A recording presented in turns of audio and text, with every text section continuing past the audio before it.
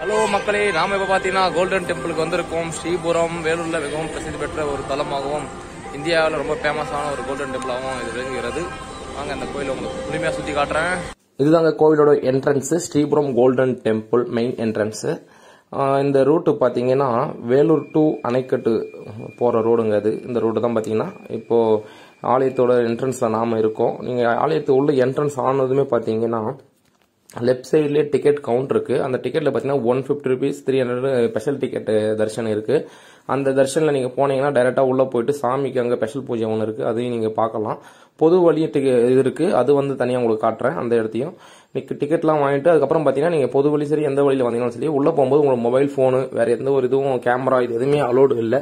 So நீங்கள் என்ன பண்ணால் ரைட் சைடில் அப்படி போனீங்கன்னா இங்கே உங்களோட லக்கேஜ் இந்த மாதிரி மொபைல்ஸு இது ஃபோன் இது எல்லாமே வந்து அங்கே கொடுத்துடலாம். டெப்பா அந்த இடத்துல டெபாசிட் பண்ணுற கவுண்டர் அந்த கவுண்டரில் பார்த்தீங்கன்னா ஒரு பத்து ரூபாய் இன்னும் தான் வாங்குறாங்க. ஒரு மொபைல் ஃபோனுக்கு அந்த மாதிரி. உங்கள் லக்கேஜுக்கு ஏற்ற மாதிரி ஒரு ப்ரைஸ் அமௌண்ட் அது கொடுத்துட்டு அங்கே நீங்கள் வாங்க ஒரு ஒரு டோக்கன் கொடுப்பாங்க. அந்த டோக்கன் நீங்கள் வாங்கி எடுத்துட்டு வந்து தான் மறுபடியும் நீங்கள் எல்லாம் சாமிலாம் பார்த்து முடிச்சுட்டு வந்த பிறகு அந்த இடத்துலயே டிக்கெட் அந்த டோக்கன் கொடுத்தீங்கன்னா உங்களோட பொருள் ரிட்டர்ன் கொடுத்துருவாங்க. ஸோ உள்ள கோயில் உள்ள என்ட்ரன்ஸ் ஆகும்போது எந்த ஒரு பொருளும் உங்களுக்கு அலோடு பண்ண மாட்டாங்க.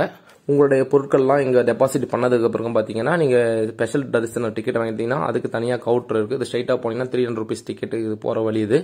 அப்படியே நீங்கள் இந்த லெஃப்ட் சைடில் இப்படியே திரும்பி போனீங்கன்னா இந்த இந்த ரூட் ஸ்ட்ரைட்டாக போனீங்கன்னா இங்கே ஒன் ஃபிஃப்டி ருபீஸ்க்கும் பொது வழி தரிசனத்துக்கும் போகிற வழி இது. அங்கே பார்த்தீங்கன்னா பொது வழி போகிறவங்களுக்கு மட்டும் பார்த்தீங்கன்னா வெயிட்டிங் ஹாலுக்கு கொஞ்ச நேரம் வெயிட் பண்ணுற மாதிரி இருக்கும். வெயிட் பண்ணி அதான் அவங்க சொல்லும் போது தான் உள்ளே போக முடியும். அங்கே பாத்ரூம் வசதி எல்லா வசதியும் இருக்குது செக்யூரிட்டி அலர்ட் எல்லாமே நல்லா பண்ணியிருக்காங்க இந்த கோயிலை கட்டியவர் பார்த்தீங்கன்னா ஆன்மீகவாதியான ஸ்ரீ சக்தி அம்மா அவர்கள் தான் இந்த கோயிலை கட்டினார். இந்த ஆலயத்தை கிட்டத்தட்ட 600 கோடி ரூபாய் செலவில் பார்த்தீங்கன்னா ஆயிரத்தி ஐநூறு கிலோ தங்கம் கொண்டு இந்த கோயிலை வந்து அவர் கட்டியிருக்காரு. தங்கத்தாலே இது பண்ணியிருக்காரு. இந்தியாவிலே பார்த்தீங்கன்னா இரண்டாவது பெ- மிகப்பெரிய தங்க கோயில்னா அது இதுதாங்க. இந்தியாவிலேயே வந்து உங்களோட வாகனத்தை பார்க்கிங் பண்ணுற வசதி எல்லாமே இங்கே இருக்குது உள்ள மொபைல் ஃபோன் எதுவும் அவங்களோட கோயில் உள்ள எதுவும் நான் வந்து வீடியோ எடுக்கல. வெளியே மட்டும் எல்லாமே எடுத்திருக்கேன். இந்த ஆலயம் பார்த்தீங்கன்னா நூறு ஏக்கர் பரப்பளவு கொண்டதுங்க. நூறு ஏக்கர் பரப்பளவு பார்த்தீங்கன்னா கிட்டத்தட்ட இரண்டு கிலோமீட்டர் நீங்கள் உள்ள நடந்து போகிற மாதிரி இருக்கும். அதாவது வானிலிருந்து பார்க்கும்போது பெருமாளின் சுதர்சன சக்கரத்தில் இருக்கும் நட்சத்திர வடிவில் அமைக்கப்பட்டு உள்ளதுங்க இந்த ஆலயம். நடுவில் தான் அந்த அம்மனோட சன்னதி உள்ளது.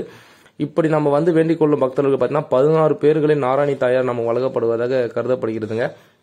கண்டிப்பாக இந்த ஆலயத்துக்கு நீ வரும்போது நீங்கள் கண்டிப்பாக அந்த அம்மனை தரிசனம் செய்யுங்க. அதே மாதிரி பார்த்தீங்கன்னா அங்கே டிரான்ஸ்போர்ட் வசதி எல்லாமே இருக்குங்க. நீங்கள் வேலூர்ந்து வரலாம். வேலூர் பார்த்தீங்கன்னா ஒரு இருபது கிலோமீட்டர் வரும்.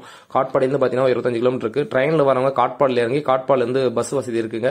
ஸ்ரீபுரம் நாராயணிக்கு தனியாக இப்போ பேருந்து வசதி இருக்குது வேலூர் வந்தும் வரலாம். திருவண்ணாமலைக்கு போகிறவங்க பார்த்தீங்கன்னா இந்த ஆலயத்தை வந்து தரிசனம் செய்துட்டு போகலாம் ஏன்னா திருமண திருவண்ணாமலைக்கு போகிற ரூட்டில் தான் இந்த மெயின் அந்த ஹாஸ்ப- கோவில் இருக்குது அதுக்கப்புறம் பார்த்தீங்கன்னா ஸ்ரீ நடராஜர் உலகத்திலேயே பார்த்தீங்கன்னா அதாவது இந்த நடராஜ் தாங்க மிக பிரம்மாண்டமாக இவங்க வடிவமைச்சு இங்கே கட்டியிருக்காங்க. இந்த நடராஜ ஆலயத்தை பார்த்தீங்கன்னா தமிழிசை சவுந்தரராஜன் அவர்களால் வந்து திறந்து வைக்கப்பட்டது. இந்த ஆலயத்தை வரும்போது நடராஜனையும் வந்து தரிசனம் செஞ்சுட்டு போவாங்க.